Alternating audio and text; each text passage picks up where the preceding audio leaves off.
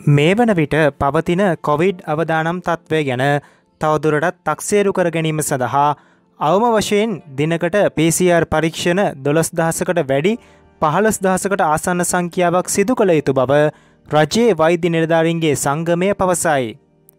එහි සංස්කාරක වෛද්‍ය හරිත අලුත්ගේ මහතා පැවසුවේ පසුගිය දොළොස් වනදා මෙරට තුළ සිදු කර ඇත්තේ PCR පරීක්ෂණ දසදහසකට වැඩි සංඛ්‍යාවක් බවයි.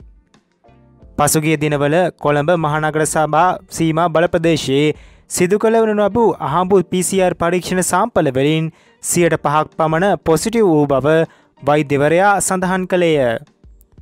මේ වන විට වැඩිම අවධානමක් තිබෙන කොළඹ නගරය පිළිබඳ යම් මතයක් ප්‍රකාශ කළ හැකි වන්නේ එම ප්‍රදේශයේ සිදුකරන PCR පරීක්ෂණ මට්ටම අනුව බවද වෛද්‍යවරයා සඳහන් කරයි. PCR ධාරිතාවය හැකි උපරිමයෙන් පවත්වාගෙනයාම ඉතාම වැදගත් බව ඔහු පැවසීය. කෙසේ වෙතත් එවැනි තත්ත්වයක් පෙනෙන්නට නොමැති බව වෛද්‍ය හරිත අලුත්ගේ මහතා වැඩිදුරටත් සඳහන් කරයි.